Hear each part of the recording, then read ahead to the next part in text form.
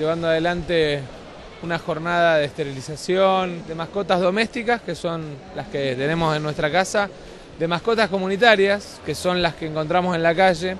Esto forma parte de un programa que venimos haciendo desde el centro de zoonosis, que venimos haciendo además en los programas mano a mano con la Fundación FABA. Cada vez que vamos a un barrio hacemos esterilización, hacemos castración.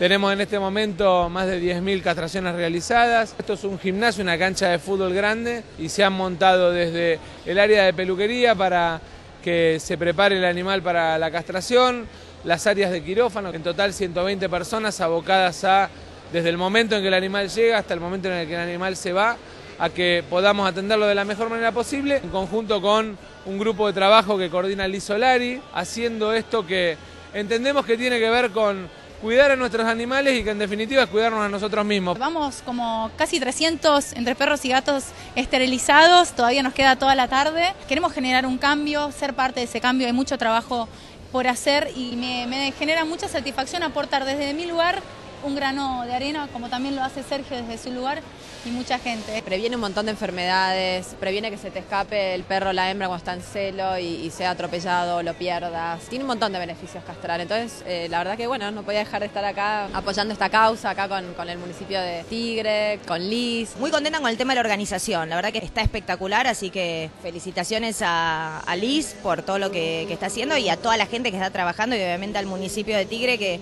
que colaboró con todo esto y que está colaborando con muchísimas cosas de, los animales. Que haya un político dando la cara, ¿me entendés? Y, ayudando a esto y diciendo yo soy parte de esto, es buenísimo porque si empiezan los de arriba, los de abajo se contagian. La verdad que es muy importante el tema de la esterilización para poder terminar con eh, la cantidad de, de, perros que hay abandonados y que no tienen un hogar, una familia. En realidad es como una movida que tiene que empezar y tiene que seguir, no solamente acá, sino en cada, en cada barrio y en cada provincia y que bueno, que esto sea a nivel masivo, ¿no? me parece que es lo más importante.